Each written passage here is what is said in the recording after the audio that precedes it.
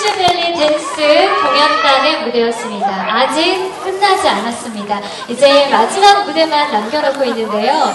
이 벨리 댄스는 처음 이집트에서 시작이 됐습니다. 그래서 해마다 이집트에서 세계 벨리 댄스 페스티벌이 열리는데요. 이 무대에 이제 한국의 우리나라의 벨리 댄서들이 많이 참가를 하는데요. 그 벨리 댄스의 본고장이라 불리는 이집트에서도 이 한국 벨리 댄서들이 그 실력을 인정받고 있다고 합니다. 오늘 슈즈 벨리 댄스 팀을 보니까 왜 우리나라의 벨리 댄서들이 그렇게 벨리 댄스의 본고장인 이집트에서까지 그 실력을 인정받을 수 있는지 톡톡히 확인할 수 있는 그런 무대가 아니었나 합니다.